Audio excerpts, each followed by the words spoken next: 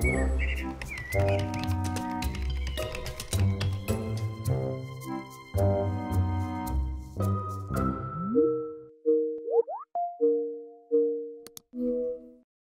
Ben, how's it going? Hey, Kim. It's going.